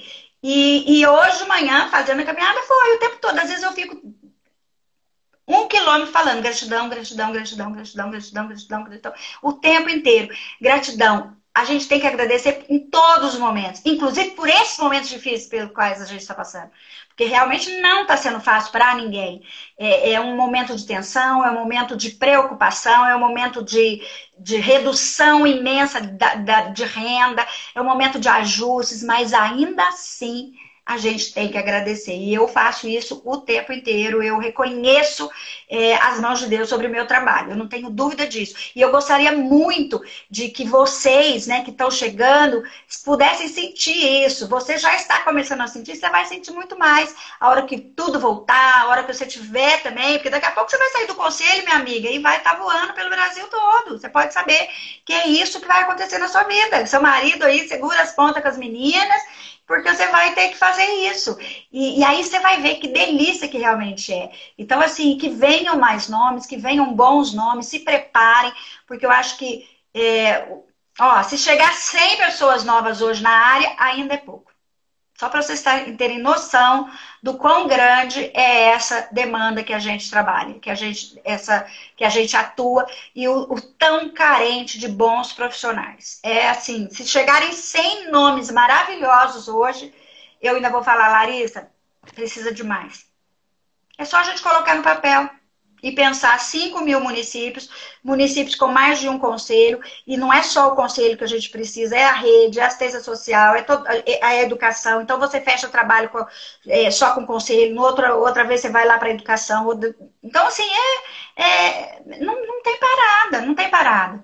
Sabe? Então, assim, é o que eu desejo para você é realmente muita sorte. Você chegou muito bem, você é super carismática. Desde o primeiro dia que eu vi lá um videozinho seu, eu já falei, ai, que belezinha. Chegou super carismática. Você é carismática. Então, assim, você é... Nossa, você tem tudo para estourar, para ser um sucesso. E aí eu posso já começar a pensar na minha aposentadoria, não tão agora, mas assim eu já posso começar a pensar na minha aposentadoria com mais é, com mais tranquilidade, porque eu sei que estão chegando no, bons nomes que vão continuar fazendo esse trabalho que a gente tem feito aí pelo Brasil afora, né? Eu e os meus queridos amigos palestrantes. Nossa, é Madu, isso, meu assim, muito agradecida e assim lisonjeada com, com a sua fala. E, e, você pode ter certeza que eu tô chegando, eu tô chegando para somar com vocês. É uma certeza. parceria mesmo, é, é segurar na mão de vocês e a gente poder trabalhar, fazer um trabalho em conjunto, fortalecendo aí esses conselhos tutelares de todo o Brasil, que é uma paixão. Eu falo que quem entra no conselho tutelar dificilmente não se apaixona pela causa, porque é apaixonante, é um órgão assim que eu aprendi a amar, que eu me apaixonei e que assim, tanto é que hoje eu estou aqui começando a desenvolver um trabalho pensando nesse, nessa galera aí, para levar o maior, de, maior que eu puder de conhecimento e, e me doando mesmo a minha experiência para poder ajudar. Porque eu quero ver essa galera aí lá no topo, sendo reconhecido ah, como autoridade, respeitados, com bons salários. Sabe assim, eu desejo tudo de bom para essa classe, porque realmente merece, são guerreiros e guerreiras que merecem todo o nosso aplauso, o nosso respeito e o nosso carinho. Muito obrigada Nossa, por você ter aceito o meu convite e por nascer aqui nesse momento uma grande amizade. Você conte comigo, se você precisar aqui na região do Triângulo Mineiro, vindo para Uberlândia, eu estou aqui à sua disposição e será um prazer te receber, viu? Obrigada, um Larissa. Beijo, Muito obrigada a todos né, que estiveram aqui com a gente. Muito obrigada. Beijo grande. Deus abençoe vocês. Beijo. Amém. Pessoal, boa noite. Muito obrigada pela parceria, pela audiência de vocês.